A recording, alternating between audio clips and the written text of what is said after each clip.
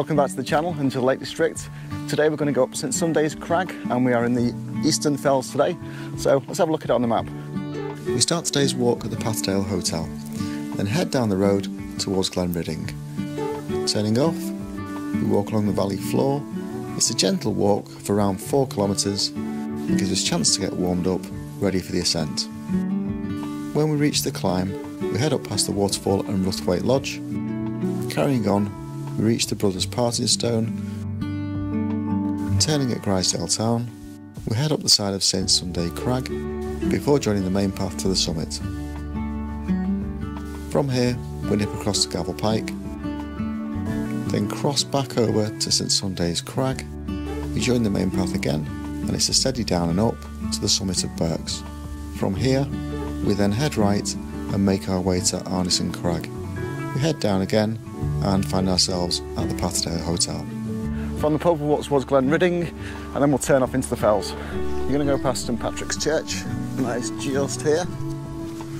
So go past the Mountain Rescue Centre which is just behind me and then you're at this. You can obviously park here as well so it's, again it's five quid up to the Patterdale King George playing fields.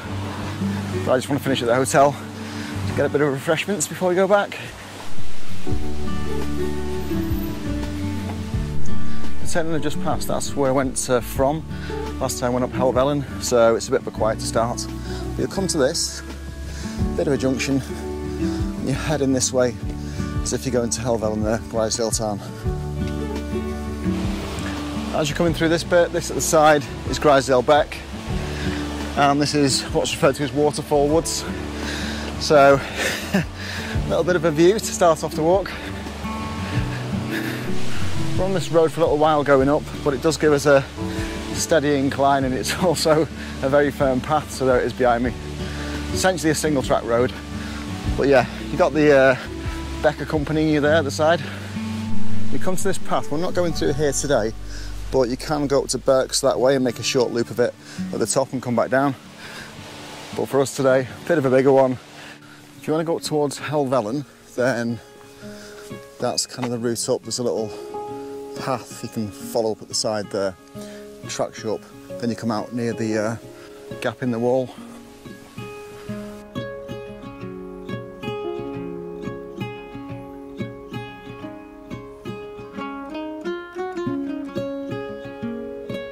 What we're doing today, we're going to go to the end of here, work our way up and then across the tops. If you have a look at the Helvellyn video that's got Striding Edge in, then I started pretty much at the same point then uh, and headed up that path. But yeah, the valley going down here, it's dead pathy, but it uh, gives you a good start off. So when I was doing the Langdale Pikes, again, got a similar situation where you go from Old Dungeon Gill, start working your way down, and then get your legs warmed up, they can start to pop up and get some height.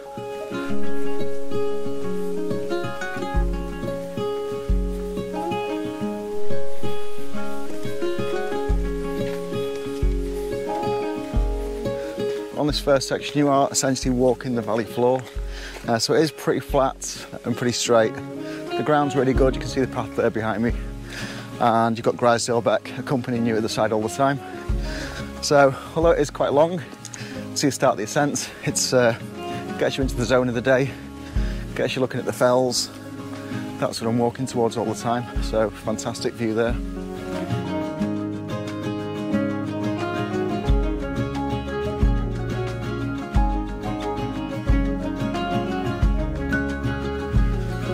When we get up to the tarn at the top, we'll be near to Dollywagon on this side, and then you can take that walk over to Helvellyn if you want to from there.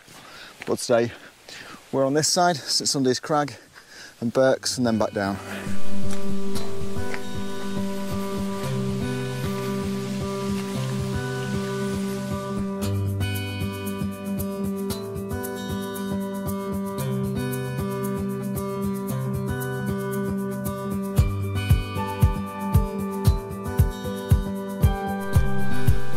To Elm now. Elm How now. Uh, I'm coming up to Elm How and that is a uh, boarding place so you can stay there and that'll position you close to St Sunday's Crag, Fairfield Horseshoe on that side and Helvellyn over this side. So quite a bit of walking to do around here.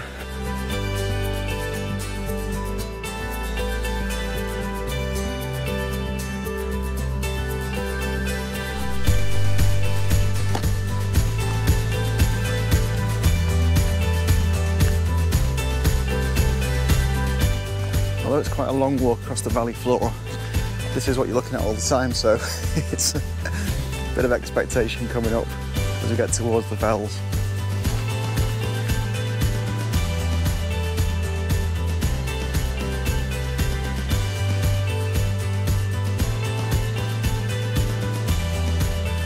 Worth mentioning, you are also like gradually gaining a bit of height as you do this. So, although I've got a massive up to do in a little bit, you've already done a little bit and got your legs used to it. Just also worth mentioning, I have seen absolutely nobody on this route, so I thought it'd be quiet today, and, and it is. And as I say, on the other side, when we get towards Helvellyn, over that side, that is definitely going to be busy today. There's the sign to Grizedale Tarn, which is where we're going. At this point, this is the walking surface and it gradually changes from a road into this, like imperceptibly as you go along. So we're nearly at the wood, and then we'll soon start to head up. This at the side of me here is called Crossing Plantation, so use it as a bit of a marker as you're walking down. So I've done the majority of this walk now across the valley floor. Uh, just a little bit more, and then we'll be up. So you can see I'm getting quite close to the peaks now. And we'll be going up there. Right, so we're down here, and then we'll start steep up. As we get here, you can shoot off there to Eagle Crag, uh, but for us, it's going to be Grizedale Tarn, so continuing along the same path. At this point, I've done about 5k, I've been going for about an hour, and then I'm starting the ascent. So this is pretty uh, brutal compared to what you've been doing. So as we're going up here, it's about 250 um, to 300 metres. So it's quite a big one. And then you're at Tarn. So a bit of a steep up, a couple of stops on the way, and then we'll be at the tarn. That's the path up to Tarn. So although it is, it's actually fairly gentle going up, you do notice you are going up, so it's a bit, uh, bit of a tester on the lungs compared to what we've been doing so far. That's the beck down there, which just continues to accompany us along the route.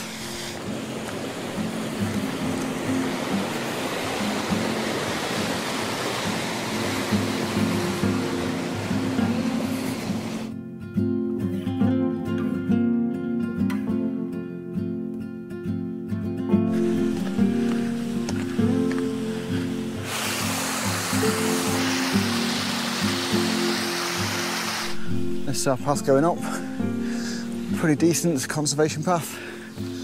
Takes us to the waterfall just there, and then we'll be sort of on the side of Dolly Wagon.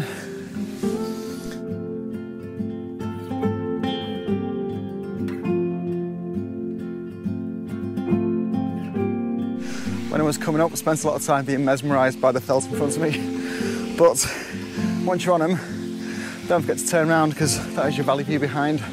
At that.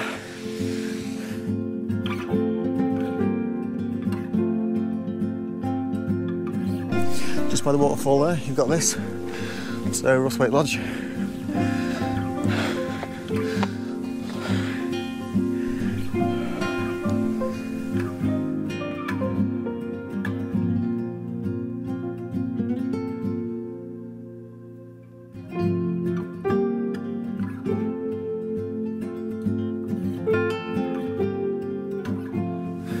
The lodge is at about 380 metres altitude and you're going up to about 550 so you broke the back of it once you've passed that.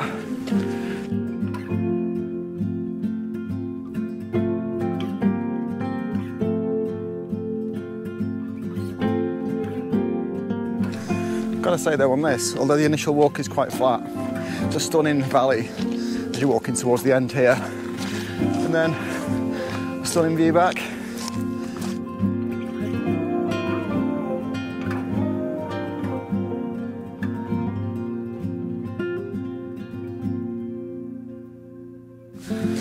So still a bit to do, and then we'll be at the Brothers Parting Stone.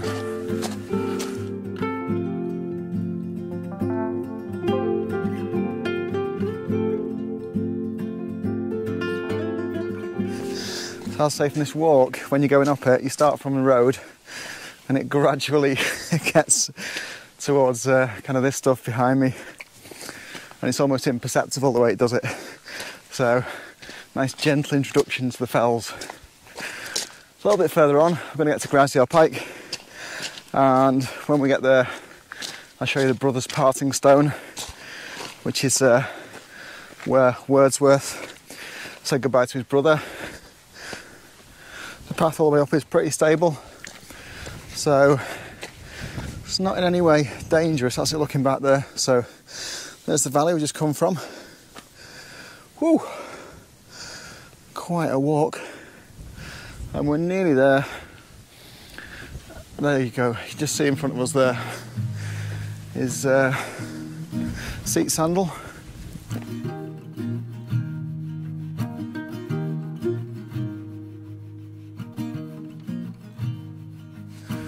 Right, so we just get past this massive cairn here, and there we go. Grizedale Tarn will meet us. There it is. Site of the Tarn, uh, you need to just nip off path, and I've nipped off to the left because I need to just go down here because the Brothers Parting Stone isn't on the main path, but it's marked by this plaque. So that's it just there. This is behind me, the Brothers Parting Stone, so it's just a little bit off the path. And it's the part where Wordsworth uh, says goodbye to his brother, and Wordsworth goes back into the Lake District, and his brother goes off to America to try his luck there. So the inscription on the uh, Brothers Parting Stone here, it just says, Here I parted with my dear brother who said he was sick of me banging on about daffodils and clouds. So, good riddance off to America. I'm kidding, it doesn't. Glad I could show you that. So now onward to the Grizedale Tarn, and then we'll take a little break before heading up St Sunday's Crag. If you've got a bottle with a filter, the uh, stream behind me is your last chance really to fill up. So I'm carrying about two litres of water today because it's quite warm and uh, I wasn't quite sure how long it'd take me. I reckon about five hours. But yeah, it's a, a bit of a climb and as always pack a bit too much water because I don't want to run out. I've done that before and it's not great. So I've got a bottle with me and then my other bottle. So I'm about halfway through my water now and about halfway through the walk. Right, that's the tarn just ahead. Up here, uh, Dolly Wagon Pike is just up there, and I did a video on that a little while back, so I'll put that in the description. So let's have a look at this. You've got Seat Sandal there just behind, and then when we get up a bit, you'll be able to see Fairfield and the Fairfield Horseshoe area.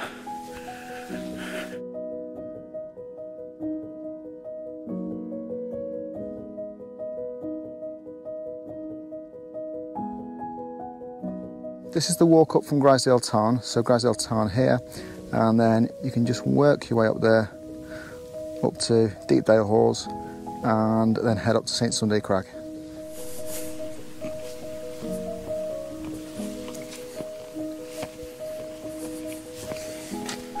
Right, from the tarn behind me, we're just going to go kind of a little bit at an acute angle back towards ourselves once I get out this bog. So we came up here, up the valley. Tarn's just over there, and then we are now heading up that path there to the top of the St Sunday Crag. So again, the Tarn is at about 550, and we're going to the peak of St Sunday Crags about um, 840. So climb of about 290 as we head up. So a little bit less than the one we've just done, but it's going to be steeper. what we've done is we came up the valley this way and went to the tarn just there Uh, this is Dolly Wagon on this side. Then we come back a little bit, you can pick up this path, and then we are heading right up there into the fells. There is a book out there for doing the Wainwrights in 36 walks, and walk one that I did of that included all this. So it included Dolly Wagon, uh, included Helvellyn, but if you're going to try those, they are really big. They probably average about 11, 12 miles, about a thousand feet, so they're all a big day out. But yeah, I'll uh, venture a couple of those as we get further into the summer. This path going up it is steep, but it's pretty stable. It's kind of stony. You can see it behind me there, so it's pretty straightforward to get up. But yeah, it is steep. There's the drop off. Whee! Grassy back just down there. And that was our walk up. If you see this walk, you might think about doing it the other way around, but the reason I haven't is because it's sort of one hour walk along the flat. Uh, I kind of don't mind that with the expectation that I'm going to do the fells, but as a one hour flat walk, just the end of the walk, it's probably a bit boring. If you're doing this route and coming along here, I've just taken the lower path. There is actually one that goes a little bit higher up there, and you can take that. Uh, it just gets you to the peak a little bit quicker, but I'm going to do this one. You can just see wiggling away there into the distance. Just want to say thanks to uh, everyone that's subscribed to the channel. So I'm just about to get to the thousand mark, uh, which is I've only had this going since January, so I'm pretty happy with that. So if you uh, want to subscribe to it because uh, you're thinking of going to the lakes or you like this kind of thing, then you can just click the thing in the corner and that'll get you subscribed. And if you've got your notifications switched on, then every uh, every week when I do these and bring them out, you'll get the update. So you can just click on that.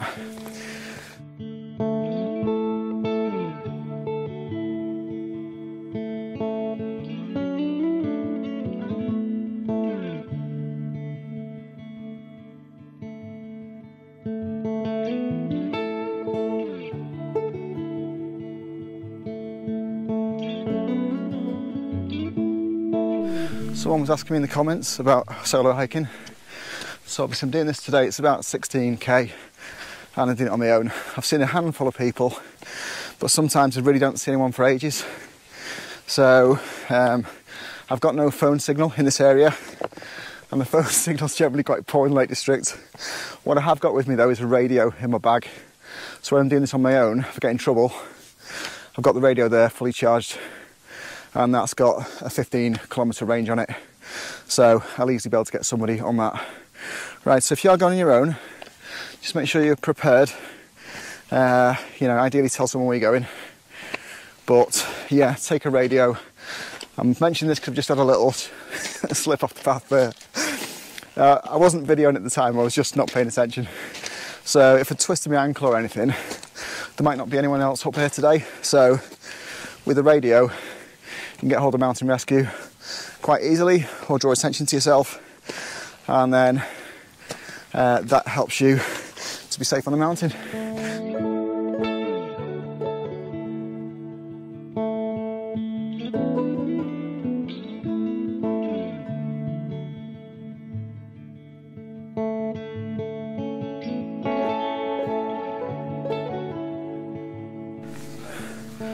There's quite a bit of bilberry around here.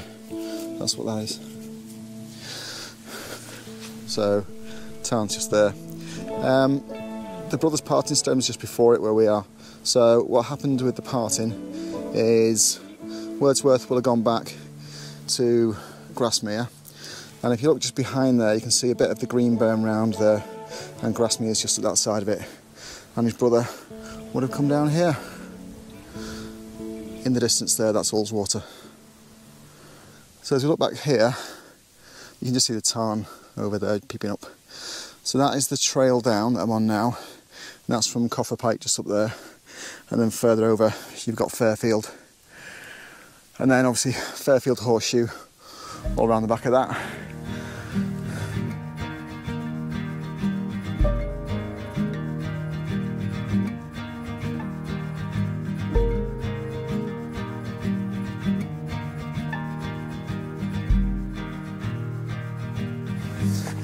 Next big walkout is going to be the Fairfield Horseshoe, so if you want to see what that looks like, I'll put it in the description for you. Uh, this will be out like a week or so before though, so come back to that one or subscribe if you like and you'll see it pop up when I've done it. Alright, look at that though. That's the view, that's the side. Absolutely fantastic. And over to the other side. There we go, so dolly wagon. And then right in the distance there, you can just see Helvellyn and the flatty bit going across there, that's Striding Edge. Last time I was up here, it was all clagged in, so I couldn't really see where it was going. I was just sort of following the paths. So today, I thought I'd just get out and have a good old look at it. But it is fantastic views all the way around. We're going to go forward. So we're just heading up there, and then that's the summit, and then we'll work our way down to Birks. Path on the way up to the summit here, it's dead stable, so see me behind me there. It's just uh, kind of thing you get all over the lakes. Bit of a rubbly path, but yeah, quite broad, easy to walk on.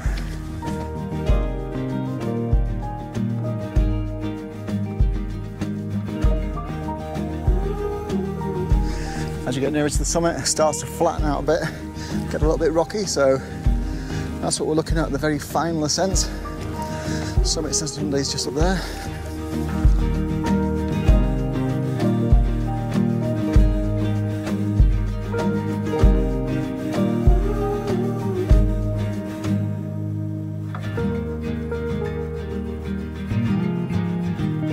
In the distance there is the actual summit. So it does go quite stony at this part, quite flat. Great views out though. Look at that. Oh. So fantastic views all around. That's obviously back towards Seat Sandal there and back towards Fairfield. This is the final run up now. Whoop. Okay, and there is the summit cairn. Right, let's get over to it. Although I feel like this is actually higher, this bit. anyway, I've stood them both. So that's it walking back. Wow, it's a massive view round. You can see right to the edge of the fells there, and it flattens out.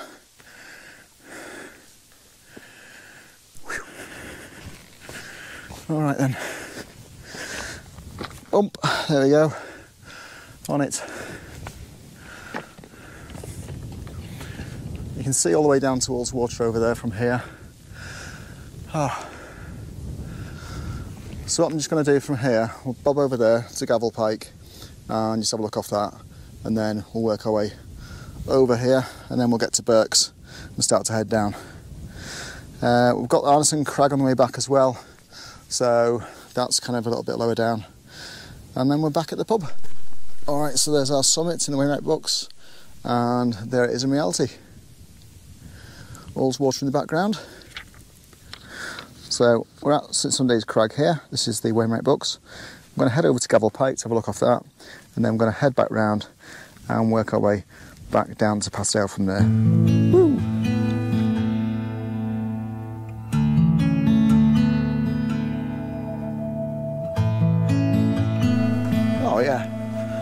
So as you walk down here, all the water just really opens up on that side. That's great, wasn't expecting that.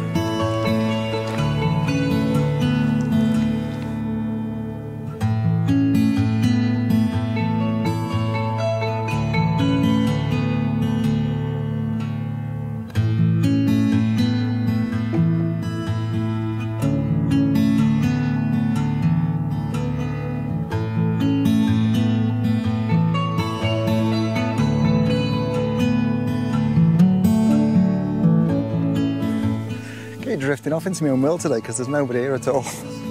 Uh, so this is Gavel Pike already. This is the end of it. Let's have a look out. That's oh, a great view out.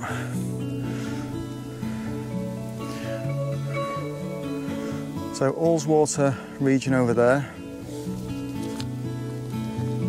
So that's in the book. So you got St Sunday Crag and then Gavel Pike there.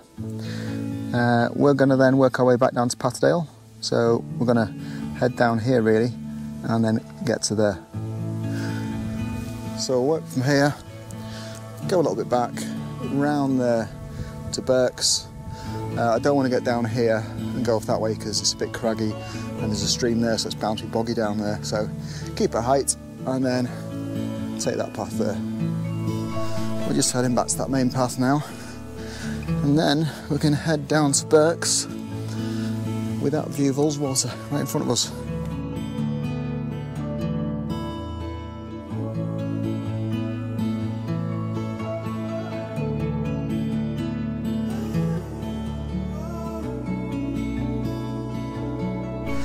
That's the big hike done really for today. We're heading down, we're going to go on to Birks, uh, which is another famous fell in the area. Fluffy on that. Make a good coat. St Sunday's Crag is about uh, 220 metres higher than Birks over there, so we'll go a little bit further down than that and then climb up there. It's only about 40 metres.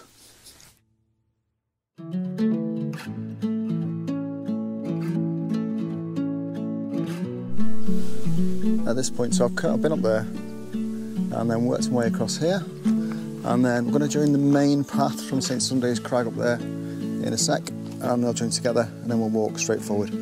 Uh, if you don't want to do Birks then that's fine, you can just go around this side and that'll take you straight down.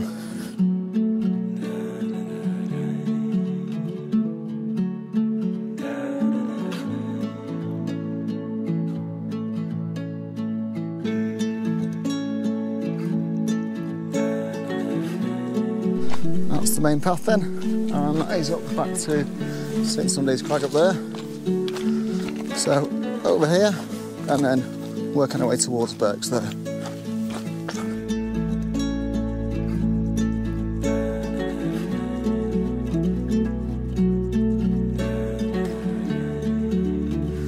It is a good walk this and I've enjoyed it. There's a few uh, bits that take your breath away, but it's quite a gentle start to it. So if you want to get yourself in the mood, get in the zone, then I would definitely do it this way round.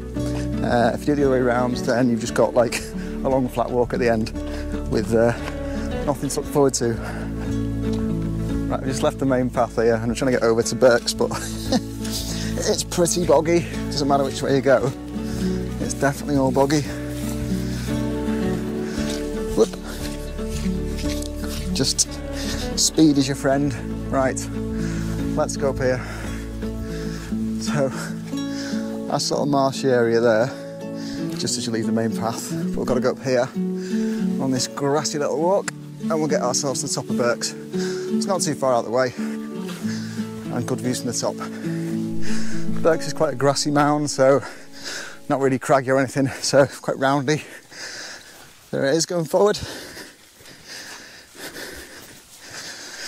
There's several challenges for the top of this. So there we go. But the one we want is a little further on. I'll say there's a couple of things marked at the top on here, and this is one of them. Little dinky pile of stones there, and the other one is just ahead of us there. Both, though, have a good old view of Ullswater. Look at that. We'll get to the other summit now of Birks. you can see St Sunday's Crag there behind me. So that's the big one for the day. Uh, this thing takes about sort of five hours or so to do, five and a half hours. So, you know, block out more than half a day for it if you can do it. Just getting to the top now, it's really opening up. So I'll just show it to you. There you go, slightly more impressive pile of stones. Let's get on them. Boom. then you're down to the lake there. To complete the walk for this, we're going to carry on going straight forward, uh, just kind of down there. But yeah, great views. Back to St Sunday Crag there.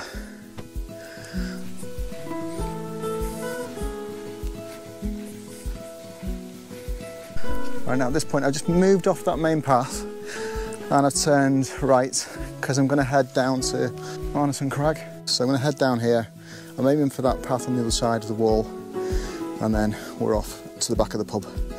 You just about see it down there. The path down here, it is a bit, um, well it's basically a broken down old wall. So just following that down. But it's, you know, it's all right, it's quite gravelly. This drop down's about 70 metres. Uh, it's very easy to miss. So if you've got something like AllTrails on, um, or Ordnance Survey. I'll make maps and put them in the description for you so you can just follow them if you want to. But yeah, it's uh, quite a uh, significant down, but it's stable enough, even though it looks like a tiny path. There you go. Nearly down this first steep bit. As I come down here, just hitting the, the V in that valley, and there's Ullswater poking up with a very old dead tree in front of it. Right, so we're up here, then we're going to get back.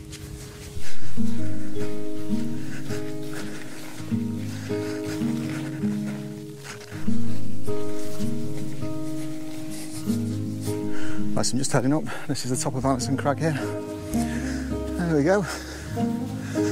There's the top.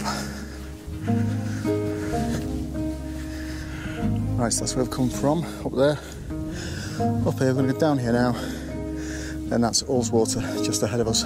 We're going to carry on heading down the hill and that'll take us right into the back of the Patterdale Hotel.